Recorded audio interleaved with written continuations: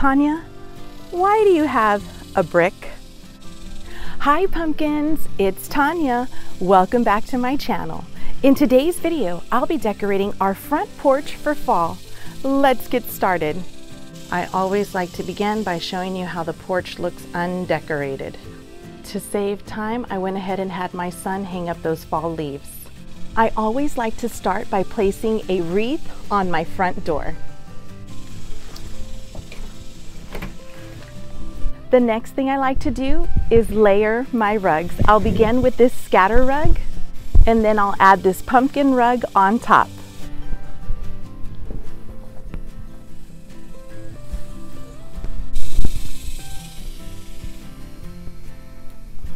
The next item or items I'll be using are these bushel baskets and I'm going to place one on each side of my front door.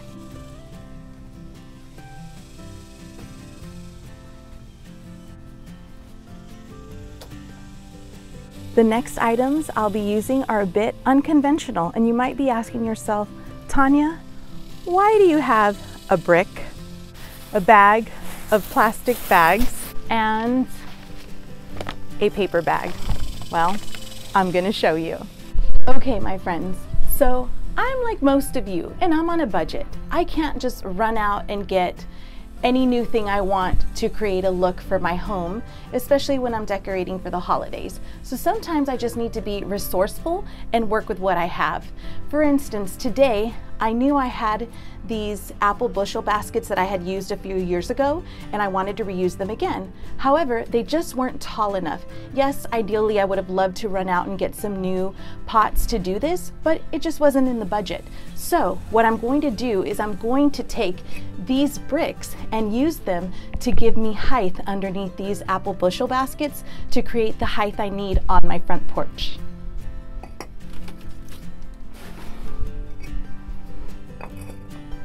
I'm just gonna simply put them right here up against the door and I'm going to stack them to get the exact height that I need.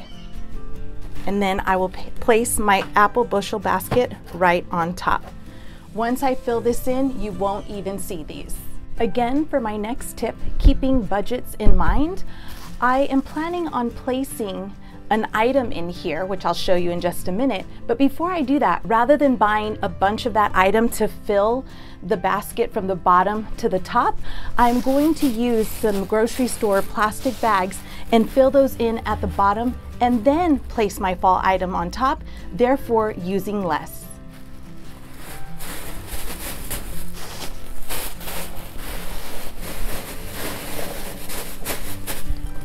Just like that.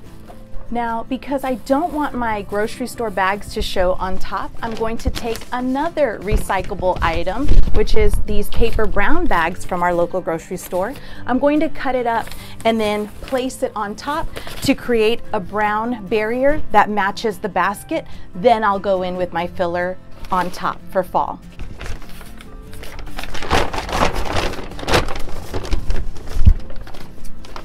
I'm just going to simply cut it right here so that I can create an opening so that I can use it to cover the top of my apple bushel basket. Let's see here. I'll need to cut in some slits right here. Obviously, I had not done this before. This is kind of trial and error. This was me brainstorming yesterday on what can I do to cover up the white plastic without going to the store and spending money. And this is what I came up with. And let's see if it works.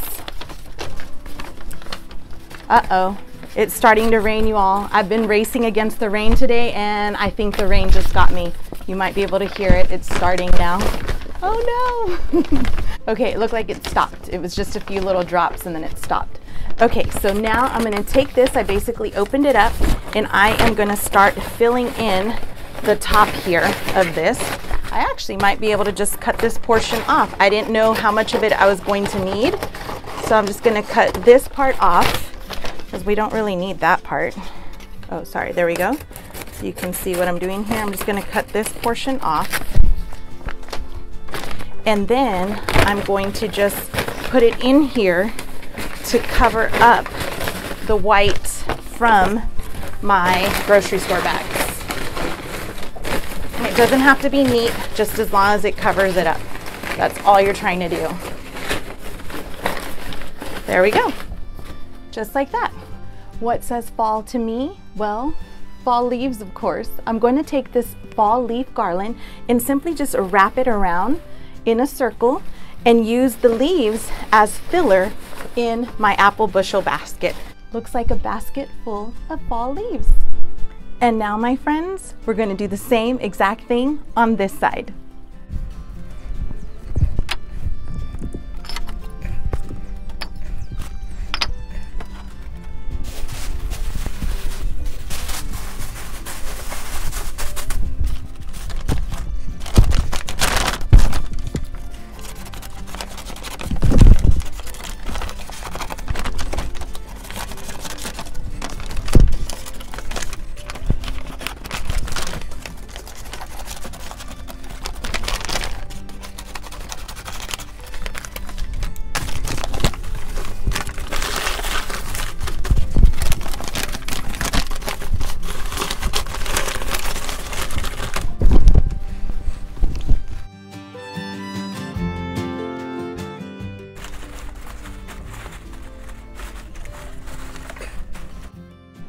So to the apple bushel basket with leaves, I'm going to be adding in this beautiful metal pumpkin stake. Yes, it's a lawn decoration, but I'm going to be utilizing it on my front porch. And to mix things up, I'll be adding this one in as well. A little side story is when I was planning out my front porch display, I knew I had a set of two of these and my intention was to place them inside the bushel baskets. But when my son went into the attic and pulled down my fall decor bins, I then realized that my husband and I had purchased these last year and I had a set of two. So that was a really great, sweet fall surprise. So because of that, I will be incorporating both sets into my fall display. Since my original idea was to place two of these on each side of my front door, that's what I was gonna go with until I asked for my son for his opinion. And I brought him outside and I said, well, now that we've got two styles of pumpkins to work with, which one should I put in the basket and which ones should I put up here by the front walkway? So he knew I was going for symmetrical look this year. I really had my heart set on symmetry. And he says, Well, I don't know if you're gonna like this idea, but what if you try switching them up? And I said, Sure, let's switch it up. Let's see what happens. We did it and I loved it. It's still symmetrical, which you're gonna see, but symmetry with a twist. So I am simply going to take this pumpkin and place it right here towards the back side of my bushel basket to create some visual interest on this side. Then I'm going to take my son's suggestion and mix it up. I'm going to place this other style of pumpkin on this side. And now to cover up those bricks, I'm going to be adding in some mums.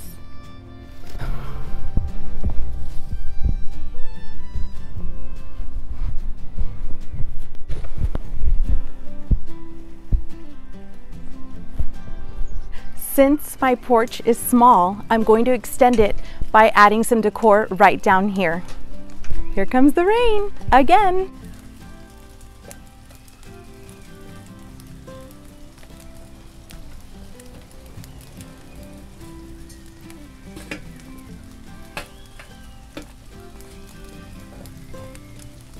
Now I'm going to do the same thing to this other side.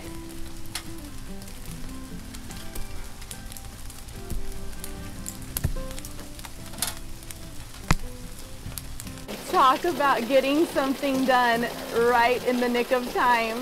It is pouring rain. But we needed it. Are you ready for the reveal?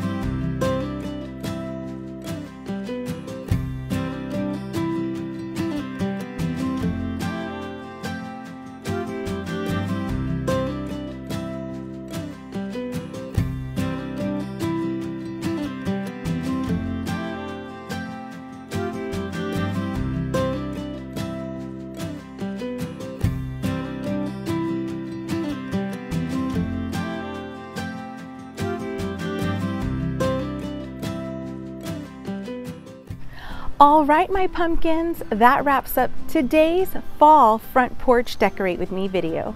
I hope you enjoyed this video. If you liked it, please give it a like. Please comment down below and let me know what was your favorite piece of decor from today's video. Also, please consider subscribing and hit that notification bell so you can see all my upcoming fall decorating videos in my fall decorating series. There's still lots more fall fun decorating to be had. I still need to decorate our coffee bar, kitchen, entryway, living room, fall tree, and dining room. So I hope you'll join me. If you're needing some more fall front porch decorating inspiration, please check out my videos from the past three years. I'll link them in the description below. Last year's video is actually my most watched video here on YouTube. As always, I thank you for spending a part of your day with me, and I hope to see you on the next one. Happy fall, y'all. Bye. All right, my honey bunnies. No, oh my gosh.